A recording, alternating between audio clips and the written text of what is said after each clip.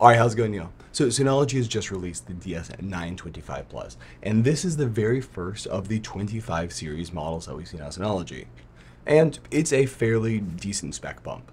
There is a upgraded CPU to having twice as many cores at basically the same clock rate, as well as finally having built-in 2.5 gigabit networking, which is something that everybody has absolutely been waiting on, and I was going to lose it if this generation of NASs did not come with built-in 2.5 gigabit networking from Synology.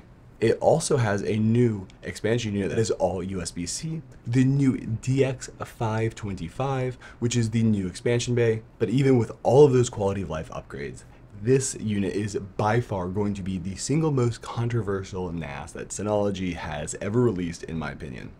So right off the bat, this right here is a DS923 Plus, not a 925 Plus, and they look remarkably similar. My 925 is in the mail, and I've not received it just yet, but I will absolutely be doing a review on that, as well as all of the new 25 models.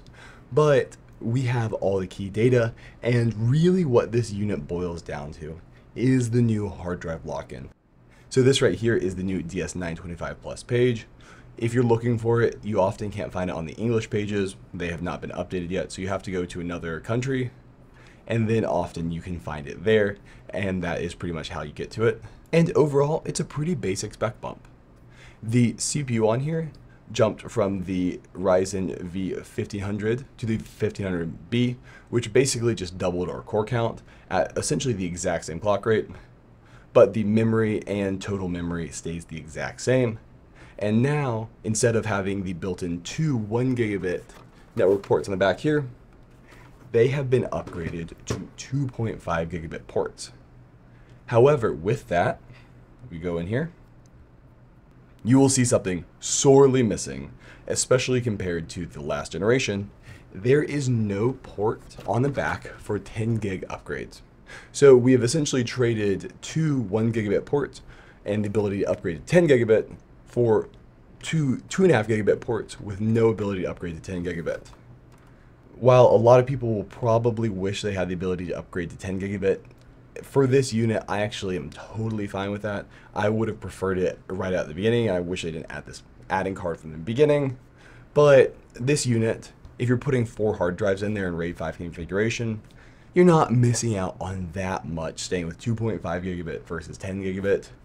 I really end up liking 2.5 gigabit a lot of time compared to 10 gigabit due to just power draw and other things like that, and just easy of use of adapters and switches. 10 gigabit has just a huge power draw, and that's why all adapters for laptops are huge. And the cards are way more expensive. You can get a 2.5 gigabit networking adapter for about 20 bucks, whereas a 10 gigabit one is $200. If that shows you how much more complex 10 gigabit is to make than 2.5 gigabit. So I think it's really appropriate for a 4 bay unit some people who are going to be putting all SSDs in this are really going to be missing it. And for those people who are making all SSD NAS and needing that throughput, this is just not going to be the NAS for you. I would highly recommend looking at something like probably the 1525 or the 1825 or a unit that is really designed for those faster throughputs. I hope that the 5 bay 1525 does in fact have the 10 gigabit, that's where I would say it starts becoming necessary. But for a 4 bay unit with mechanical hard drives, I probably am not going to miss it too much. And I'll be honest with you, a lot of time that I would see people deploying the 923 Plus with a 10 gigabit card, I felt like it was overkill and really just wish they had a 2.5 gigabit alternative. So that may be controversial, but that's my opinion. But that is the least controversial thing on this unit. What is going to be the huge controversial thing is what I alluded to at the beginning of this video, and that is the new hard drive lock-in requirements. If we come into our specs here, we can see that under hard drives, it states compatible hard drives are mandatory. Please consult our compatibility list before purchasing hard drives. For more details, please refer to this article. And right here, we can see their facts for hard drive compatible storage starting in 2025. And this article I'll actually leave down in the description below just came out actually. And it actually is the first time Synology's fully addressed and written out what their policies are for hard drives. Previously, it was very much like you'd talk to a media person. They really wouldn't tell you anything. And they would say, oh, this is it. And they never wrote a full policy out. However, now they have written a full policy out here. They are stating that essentially they're breaking up their hard drive policy into two distinct sections hard drives and SSDs. While they say the reason that they've got these two policies is for making sure that there's different technology considerations, the real part of this is the drivability section right here. Synology has a lot of trouble sourcing SSDs, way easier sourcing hard drives. If you look, the SSDs are really often out of stock, and in my experience, a lot harder to find, and also way more expensive than the competition. Whereas the hard drives often actually, if you get the Plus series, are in the kind of regular ballpark price. So with that, they've actually added the ability for SSDs to stay on the compatibility list. So this is actually really great news for SSD people because you can buy an 8 terabyte SSD and stick them in these systems and right here they will show up as unverified, but it'll let you build a pool. Great news is a relative term here. So after we've split up our hard drives and SSDs, then there is actually writing out which series there are. And the way they're set up here is the value in J models are going to be able to throw any drives in there. And so what they're doing here is they are allowing the super low end models, the value series and J models, to bring whatever drives are to still try to capture that market. Well, I'm glad they did that. I also do feel like now we're getting so complex with the hard drive requirements here that as somebody who works on this stuff literally every day, I am still going to be having to refer back to every single one of these because the policies are so unique to every single series, model, and everything rather than just a blanket compatibility, which is kind of crazy. But the policy going forward now is only drives on the compatibility list will be able to be used to create storage pools. And we're going to talk about the compatibility list in a second here but they will allow people to migrate their existing pool, which is really, really, really key. So if you've got an 1821 plus with eight Iron Wolves in it, you are going to be able to take those out, stick them in an 1825 plus, and still just migrate on over. I'm interested to see if it's still going to say unverified. Only time will tell with that. But they still will allow you to build them. And a key thing is here that I do want to touch on is this will not be retroactive. This will only apply to the 2025 series and beyond. So you don't have to worry about DSM 8 kicking out your hard drive compatibility and breaking your pool. At least I really hope not from this policy. This is stating that, hey, it is only by the actual model, which I would expect, and it's good that they have fully addressed here. And at least that way, you have the option at time of purchase to choose if you want to keep with Synology or not. Okay, so that is the new article. Now, if you want to build a pool with the 2025 series and beyond, they have to be on the compatibility list if you're buying mechanical hard drives. Otherwise, it is not going to let you build a pool. However, you will be able to migrate your existing hard drive pool over with unknown repercussions in terms of the compatibility list and if it'll show up as unverified. So now, I would have no problem with this in the world if there was an up-to-date large spanning compatibility list. Synology is not wrong that there have been times where people have bought drives that were not compatible and it has caused issues. However, that was a fairly isolated incident. I've seen it happen very rarely and only with really cheap drives. And there was like one or two batches of bad Ironwolf firmware like six years ago that did genuinely cause issues with Synologies. Basically, there was a firmware version of Ironwolf's that certain Synologies would just cause huge, huge, huge interrupts with the system and they would just grind to a halt. That was the only time I've ever seen that, other than people buying SMR drives and wondering why they're running super slow.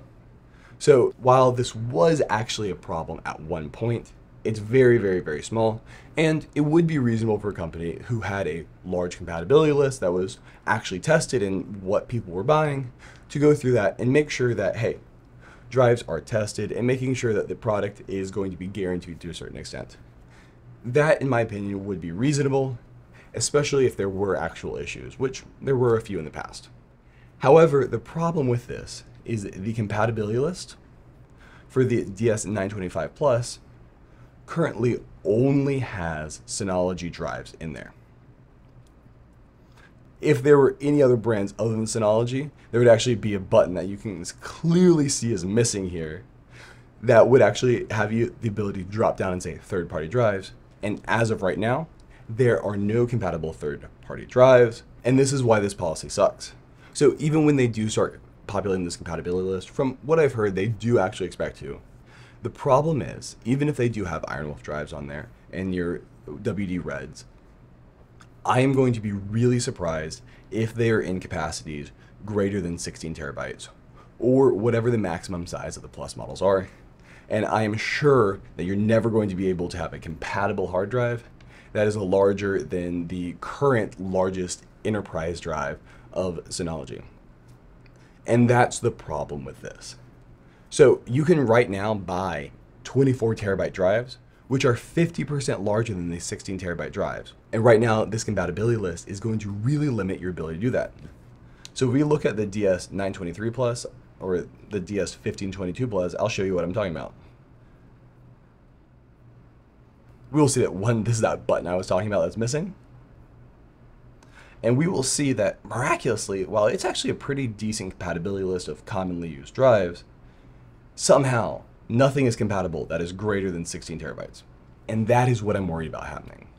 So even if they do populate them with your Iron Wolves, your WD Reds, you're now also going to have to make sure you know what size they are because apparently drives of different sizes are somehow differently compatible, but really they're just trying to protect their drive sales and not have a weird situation where you can buy a 1522 Plus that somehow has more space than 1823 XS Plus. I think that is the key problem that they're running into here. And I would really like to see them at least get up to the 20 terabyte Iron Wolves. Please, Synology, at least get up to there, as that really does open up a very large amount of space for users. Okay, so that is the key issue with this 2025 model and all 2025. I'm going to stop focusing on that here because we've already talked about it and this is about the 925 plus, but is also, in my opinion, the reason why the 925 plus is the first one coming out. Because this right here is the DS923 plus. It is a very recent system, and honestly, I would say this unit needs an upgrade less than anything else. And I think that is exactly why Synology has started with this unit. So the DS923 Plus came out about two years ago, and it still got a relatively good CPU in there, ability to upgrade large RAM, 10 gigabit upgradability. Honestly, a totally fine unit. There's not anything in here that they had to do to really redo it. And the reason this unit is coming out first, the DS925 Plus is coming out first, even though the DS1825 Plus is so much more needed, is the fact that it is going to take most of the media attention about the compatible hard drives. It's the same reason why Synology had the German newsroom post. They're easing us into it, and that's why we're starting with this unit. So that was my conspiracy theory. We can now go ahead and start talking about the specs of the DS925 Plus and really talking about what has changed because honestly, they've put in a pretty decent CPU in here. This is actually the exact same CPU that is in the DS1821 Plus and the DS1621 Plus right now. And I'll be completely honest with you, that, that is more than sufficient for NAS workflows. It's not Intel, so you don't have QuickSync, so you're not going to be using it for plex transcoding, but for everything else, it's an incredibly powerful CPU. And unless you're running an insane amount of Docker containers, you're not really going to be maxing out the performance of this thing, especially with only having the 2.5 gigabit networking that specific CPU is able to saturate over two gigabytes of data per second from my testing. That is a very fast CPU, so it is not going to be the limiting factor for any really NAS related operations. If we talk about having full on server operations, you can obviously limit any CPU, but from a regular NAS unit, this is going to be more than powerful enough and a welcome bump. The RAM is the exact same as the DS923 Plus, 4 gigs DDR ECC with the ability to go up to 32 gigs because it's got two DIMM slots. And it's also got the exact same two NVMe slots on there. And now they've also got a new DX525 expansion unit. So the expansion unit is now going to be USB-C, which, while I completely understand them adding it in there, is also going to confuse so many people because people often get confused between how a NAS works and a DAS works, and so they think they can just plug in directly in USB and access files, but don't realize that's not how NASs work. And so if you look right here, they've laid out very clearly expansion, but it is still going to confuse people because people who are just coming into a NAS, it is a lot different. And as I said at the beginning of this video, it is also sorely missing the ability to upgrade to 10 gigabit networking. But it's got the standard Kensington lock and looks pretty much identical to the DS923 Plus, which is what we would absolutely expect. And finally, as for pricing, I would be shocked if they raised the MSRP from 599 USD from the 923 Plus, given how similar the two units are and the very, very, very small changes. But you never know, especially with tariffs and everything. But I don't have final word on that, though I'm guessing it'll come in at 600 US dollars. And overall, in a vacuum, if we exclude out the 25 model lock-in, I think this would be a welcome upgrade for most people. However, the 25 hard drive lock-in is going to be an interesting time in really seeing how they handle the compatibility list and how quickly they add those drives on there. And there's going to be a lot of people who don't read these reviews and are used to buying Synologies and just throw their standard 24 terabyte Iron Wolf drives in there and literally cannot build a pool. I think that's going to rub a lot of people the wrong way. For the side of the world that is not looking for these massive storage builds, who are looking for like 40 terabytes usable space in a package like this, I think it's a great unit. They're going to be able to buy the 16 terabyte Synology Plus series drives for pretty much the same price or cheaper or more. They're always right around this price of Iron Wolf drives and have a great experience. However, for people who are used to building out their custom systems and wanting to max out with 24 terabyte drives, these series are going to be super limited for that. And so that is just not going to be on the table for them. So with that, it's really up to you if this is the unit for you. If you have any other questions, put those down in the comments below and tell me your thoughts. I do really want to see what happens to this compatibility list because Synology could go a few different ways with it. And I'm just worried they're going to go really limited and really limit their units to way smaller drives than they actually can, given the fact that 24 terabytes are not that hard to come by for hard drive sizes anymore. And if you want to hire me, there's a link for that down in the description below. All right, have a good one. Bye.